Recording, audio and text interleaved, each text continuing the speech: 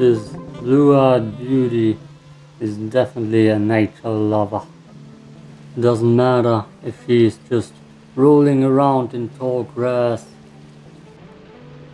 or also picks up blooming flowers in bright pretty colors, which seemingly is her favorite pastime activity.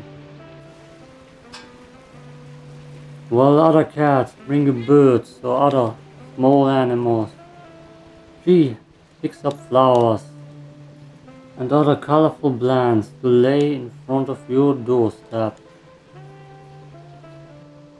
Like witch hazels, which seemingly you cannot get enough of.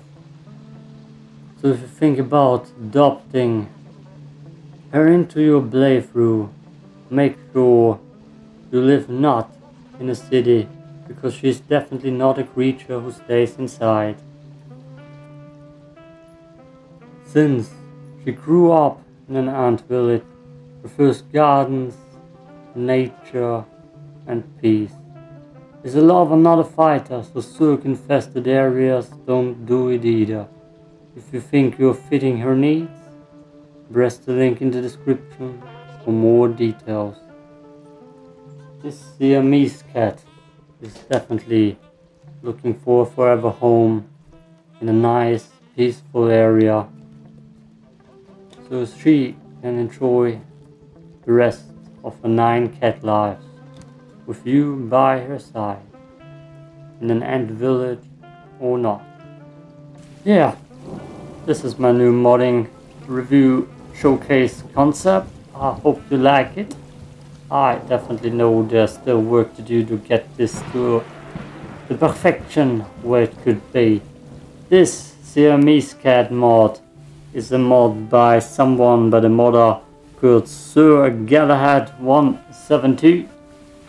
Especially the eyes are cool as hell looking. So nice little Siamese cat. Looks pretty good. The modding community for this game is already on fire. And I will do a lot of modding content like I said before. Yeah, this is definitely one of my new favorite ones.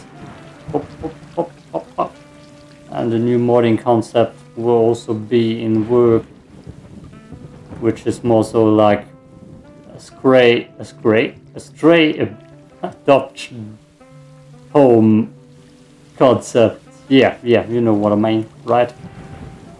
So i'm gonna play with some of those modded cats in my playthrough and also do a lot of modding content for this game like the one I'm doing right now I just did with a little bit more effort into it and actually writing beforehand.